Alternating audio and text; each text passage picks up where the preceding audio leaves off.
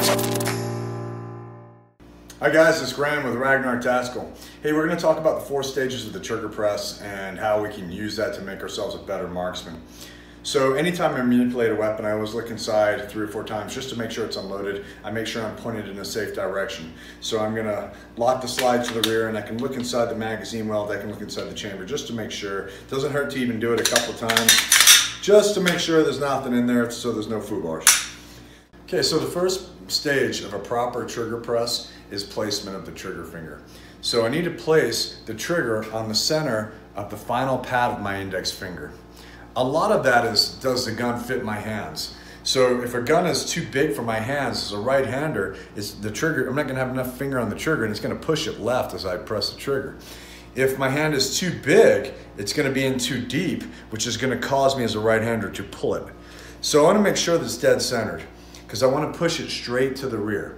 So that's the first stage. The second stage is getting through all that creep. That's all that garbage that you get to until you get to the wall. The wall is when you feel that it's about to discharge. So with the wall, once I hit that wall, I need to be thinking primarily about my knuckle joint and my index finger, making sure that my finger is coming straight back, not that my entire finger is coming straight back. So in other words, this forward part of my finger needs to be acting independently rather than pulling the entire trigger because that'll push me to one side. If you shoot a gun a lot, you'll become in tune with that trigger. You'll know exactly when that wall is going to break and that weapon is going to discharge. Okay? After that, I let it out until I feel and hear the click of the trigger resetting on a semi-automatic pistol.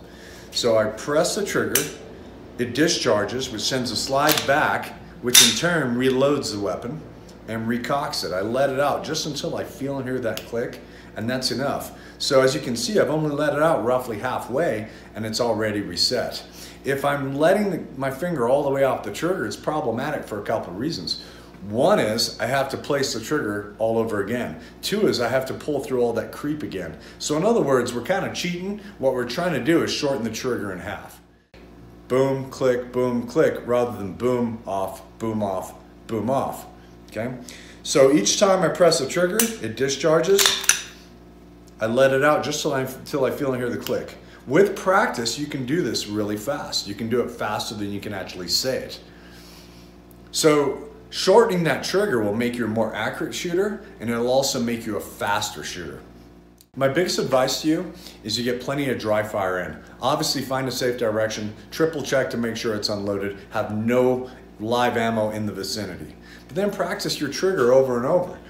So I press the trigger, I rack it, which simulates it discharging, and then I let it out just like feel and hear a click, no further. And I just continue to do that over and over.